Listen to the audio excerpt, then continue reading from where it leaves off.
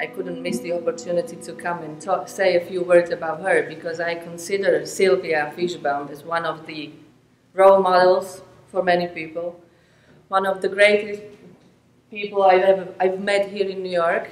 Uh, I didn't know her before personally, but I have to tell you that I knew everything about her and uh, about her life from the book, um, which is the memoir of Silvia Fishbaum that was published in Slovakia in 2010. And everything, everybody, half of Slovakia learned how uh, Silvia is um, courageous and, uh, and passionate person.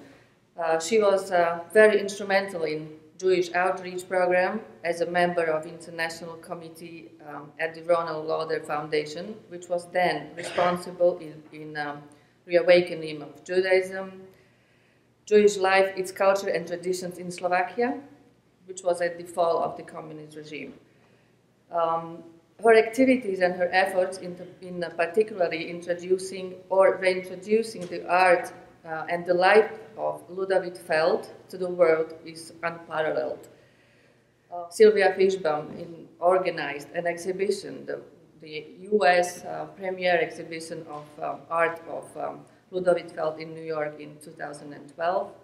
She also gave, gave an important speech about two years ago in the um, Czech Slovak Jewish Society and the Holocaust Memorial at the same time, she's very, very active in Košice, uh, which is her hometown. They call us ambassadors, us as diploma, uh, diplomats, um, but I think uh, Silvia Fishbaum could be called um, the ambassador of uh, Slovakia too. And I would like you to help me to welcome Silvia Fishbaum.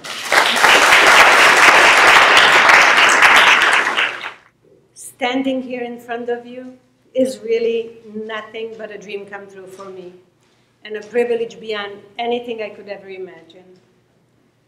Before I go any further, allow me to express my, my gratitude to Holocaust Memorial Committee of Long Island, especially Mr. Vincent Marmorali. Thank you, Vince. Thank you.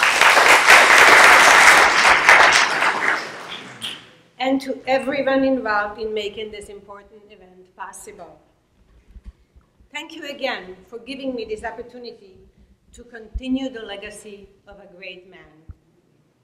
An opportunity to introduce you to a unique artist and have you all witness an exhibit of his haunting yet masterful work. Ludovit Feld, my former art teacher, an Auschwitz survivor, sub subject of Dr. Mengele's hideous experiments, and his personal artist. Uncle Lajos, or Lajcibaci, as we students lovingly called him, was born on March 19, 1904 in my hometown of Košice, former Czechoslovakia. He was the youngest of nine children, and due to a serious illness at an early age, he stopped growing. A dwarf, reaching barely four feet in height, yet in every way a giant. Later, he claimed that this deformity paradoxically saved his life. Ludovit, sitting on his little stool, drew countless scenes of daily life in a ghetto, portraying the hopelessness, despair, and grief. When Ludovit finally arrived to Auschwitz-Birkenau, he was asked to state his profession. And in German he answered, Ich bin a Maler, I am a painter. Mengele took one look at him standing at the ramp, and he sentenced him to live. Feld never had any children of his own, but nevertheless, he became a father figure to many boys in his barracks. One morning, it was announced that the release was imminent, but Feld was convinced it was a trap. He persuaded Kalman and 14 other boys to stay put. They hid under the lowest bunk. They laid flat on top of the frozen ground for 10 days and 10 nights. In one of the most famous pieces of footage recorded on that day, Feld is clearly seen leaving the camp with other surviving children. You can easily recognize him by his little round eyeglasses, black cap, and an uneven walk. A clip runs on an endless loop, at the Auschwitz Museum even today. His story, along with the stories of other dwarfs, was published by two Israeli journalists, Yehuda Koren and Eilat Negev, in their book, In Our Hearts We Were Giants. The book chronicles the remarkable story of the Ovitzes, a family of dwarfs who all survived Auschwitz together with Feld. It details the agonizing battery of tests they all endured. And they describe how Mengele forced to Feld, Feld to draw the, other, the twins, the dwarfs, and his personal portrait. The last time I visited Feld was in the spring of 1987 with my family.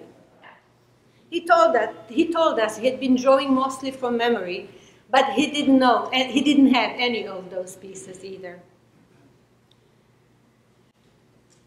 He emphasized one thing. He never drew from memory again, and it was Mengele's portrait, even though he could do it with his eyes closed.